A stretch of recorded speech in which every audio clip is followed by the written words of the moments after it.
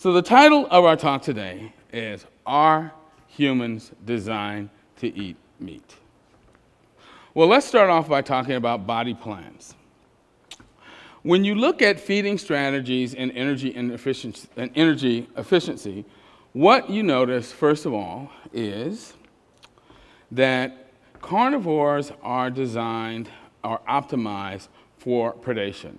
That is, they are designed to chase things down and kill it so that they can eat it. Because you see, when a wolf gets ready to have dinner, it has a very different problem from when an antelope gets ready to have dinner. When the wolf gets ready to have dinner, it's trying to eat something that doesn't want to be eating, eaten. And it's trying to eat something that has legs and that tip, typically tends to run away. You know, it's like, get away from me, wolf. Whereas the antelope, the, the stuff that it eats is rooted to the ground, so it tends not, it doesn't tend to go anywhere, so it doesn't have to chase its food.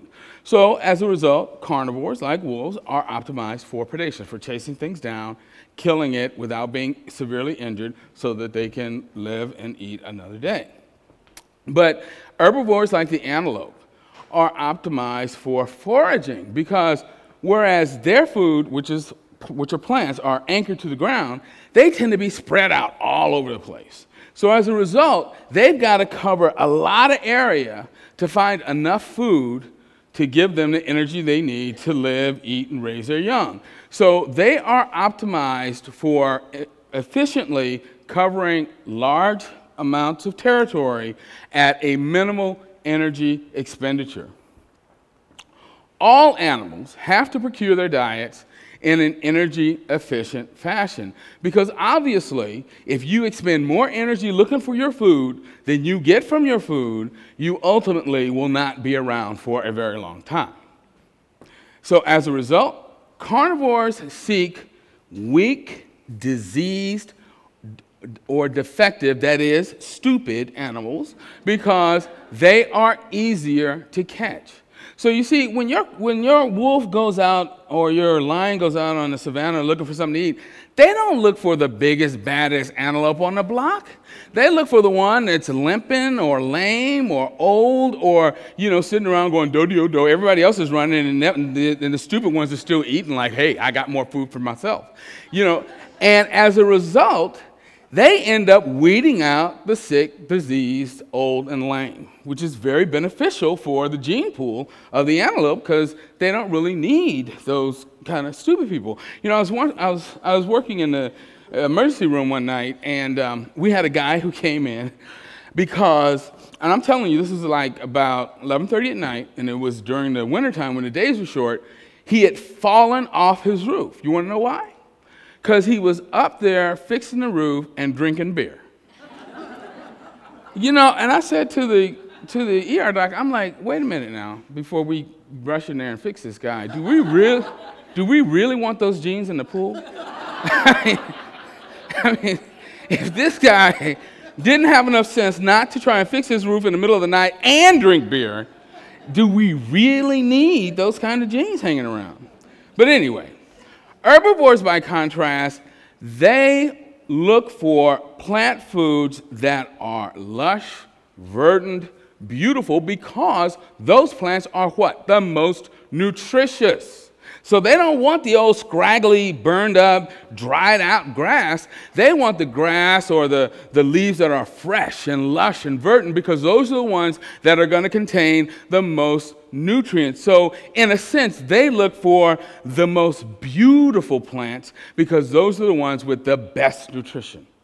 Well, what's interesting about that is that if you are a predator who uses an herbivore mentality. That is, instead of going out looking for the weak, diseased, and lame, you end up going, you go out looking for the stuff that's the biggest, the brightest, and the best.